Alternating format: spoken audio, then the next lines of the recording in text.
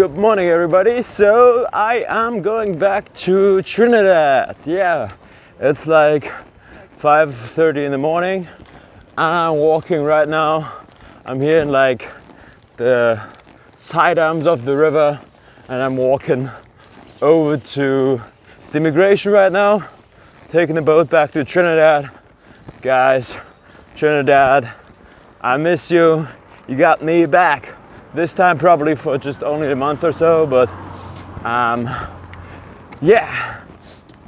Cause first of all, my visa in Venezuela is running out at Technofall after exploring like the Warao here in Venezuela. I kind of wanted to like go and explore the Warao in Trinidad and have some other video ideas since uh, I have a lot of friends in Trinidad right now, a lot of people who know me, and lots of cool things to do. So yeah, I'm really happy so to go this is the guard station of the immigration. Right now there isn't anybody there, I'm a little bit early. Um, but yeah, I can film as long as there's no guardia because they don't like it if you film while they're there. Um, yeah, there's my backpack over here. It's got a little bit heavier because I bought one of those cool hammocks. But um, yeah, the immigration told me it might not be allowed to get into Trinidad. I try my best to do, do it. Maybe they give me some problems here.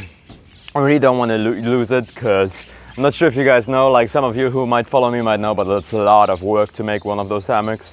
But I have some other crafts from the Warao who gave it to me as like a gift. For example, this like bracelet was a gift from the Warao. Uh, yeah, for breakfast we have some like instant ramen, some dry instant ramen. I just, I don't know, I just like to eat dry instant ramen. It's like fast and you know, you just like crumble it and you put like the spice in, you just snag it.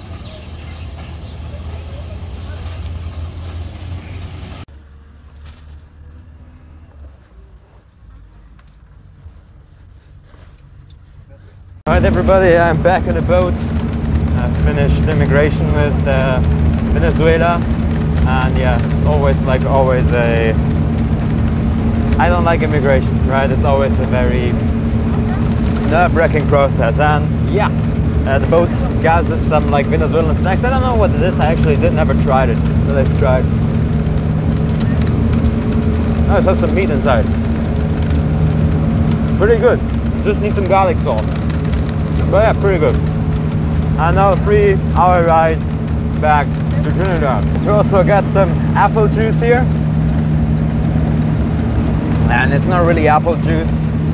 It's a little bit more chemical. It tastes something like apples, but I don't know, some chemical stuff. And um, yeah, I have to say I'm kind of sorry to leave Venezuela.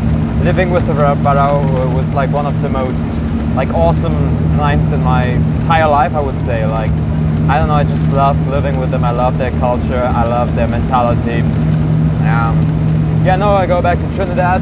Hopefully I don't get problems in Trinidad because I tried to go back like one week before, uh, two weeks before, and I got a problem with like the immigration in Trinidad, right? They basically said that because I walked without money and everything across Trinidad, like I have no money to take care of myself. And I just want to publicly say um, I do have money, right? I worked in Europe. I start with no money. That's, uh, that's why I ever say like journey with no money. I start with no money, but I worked like in Europe. I worked in Germany. I worked in France. So I do have money to take care of myself. I have to. I have friends who take care of me the whole trip. Walking across Trinidad, I never ever once even like begged for food. never asked for food. Those were all people who give me food and other things voluntarily, right?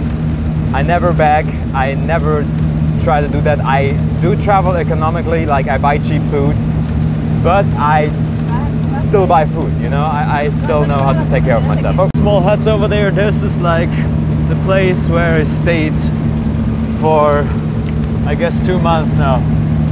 Two months I lived here in the jungle. And I'm very happy of the experience. And just, you know, looking back at those houses, so small. I hope I see this place again one day kind of sad to think I'm leaving now. But it's a little bit rockier right now. That's because we're on the open sea. And yeah, maybe I get seasick again. You know, I mean, I sailed across the Atlantic, but I still get seasick. And yeah, I kind of miss the ocean. You know, but I don't know. I still like it. All the rockiness. Soon you'll be in Trinidad. I'll be in Trinidad. And we, because you're watching. Right everybody, back to Trinidad. Ah oh, man, I miss the ocean. I miss the island feeling. I miss the sea. I miss Trinidad. I'm happy to be back here. I also realized my battery is low, so I probably have to stop filming the next while. I have to go through immigration now, but I don't know. I'm really happy. I like the ride. All right, guys, so we jumped like I think two days in the past, uh, this future, because my mobile phone battery ran out and like we were kind of busy yesterday. So I am now here with Eric Lewis, Prince of Moruga. He invited me back to his estate. I'm staying at this house over there. Some of you might watch Christmas List. They know this is a haunted house and I'm now sleeping at it. Like Chris, I think one night, Chris, like, what happened? Like his, the, the, the... So Christmas List his chip just disappeared and uh, from his uh, filming device and then he found it on the step. He didn't sleep all night. He just literally had a haunting. Yeah. And this is also where we had the Moruga scorpion pepper. And um, I mean, I tapped out after one minute, which is good enough. But yeah, this is where we had the activities. Yeah, yeah, but I'm not gonna do the scorpion pepper, guys. So just, just don't. I'm, I'm not like that kind of guy. You know, no, no, it's boring, of course. Okay, uh, let's let's let's show you guys like where exactly I'm gonna sleep.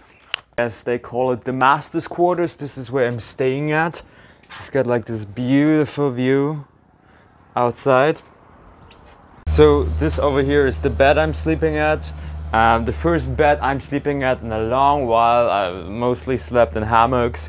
Got a toilet over here, and yeah, okay, yeah, I, I need to wash my stuff. But these are like handmade Warao, I guess, crafts they gave to me as a gift when I left. Got some Venezuelan money. Guess how much it is, guys? Uh, I think it's around five dollars. And yeah, my hammock, which I'm super super proud of. I love this hammock, and I'm very very sad that I can't sleep in it, and I will sleep in it at some point. And yeah, my good old backpack. You know, my backpack actually accompanied me for like no more than a whole year through all kinds of stuff. My only companion who stays all the time with me. Um, and yeah, I'm gonna stay here in Trinidad for another few weeks. I don't know exactly how long, maybe longer, maybe shorter. And yeah, I want to help, I guess, the Warao in Trinidad here. I want to help uh, the, the, the chief here in Trinidad uh, with like some social media stuff and those kind of things and I guess yeah eventually then I'm gonna move on to some other place. I don't know exactly for sure.